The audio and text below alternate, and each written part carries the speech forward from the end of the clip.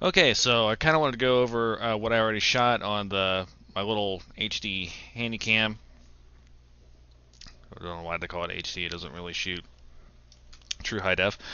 But uh, so after setting up the Dazzle uh, video, so setting up the video input to the Dazzle, having it come over USB, and then you do the uh, the uh, audio to the 3.5 millimeter adapter. I like using tvtime. Um, I think that's the best thing to use as far as like it sees it right away. Everything's all good. Plus, I mean, it's good for playing whatever your your uh, your input is on as far as the Dazzle is concerned onto your your uh, your machine. So your machine could actually be, if you want to hook up a DVD player, your computer could be your entertainment center. So um, that being said, uh, some people like to use um, the Cheese webcam booth and, or the guvcview.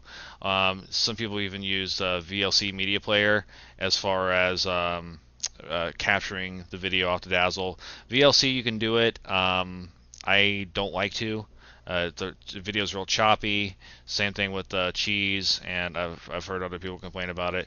One thing to keep in mind, though, in, sound preferences, make sure it says internal analog audio or internal audio analog stereo as far as uh, your your uh, input source and also turn down the amplification. Uh, slide it all the way down to about the, the U or the A here in the word uh, unamplified, and that will uh, make sure that the, the sound that's captured is not blowing out your speakers.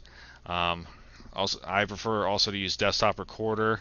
Uh, when you use desktop recorder, make sure that you're not recording the whole desktop area. Just go with the select window and reduce the size of the capture area. That way, when you click on select window and it just selects that, um, you know, it's it makes it easier to encode. Um, unless you, you know, if you're running an older machine like myself, um, it just makes life a lot easier and you're not pulling your hair out. So, but I'm going to go ahead and uh, after uh, here, here in a few seconds, I'm going to show you some video I was able to take, and you can hear the audio. Uh, do a little um, do a little commentary on as well. Won't get in too long to make this video, you know, um, excessive. So, but uh, uh, stay tuned, and I'm going to be uh, showing some of the some of the gameplay I was able to capture and the audio quality with it as well.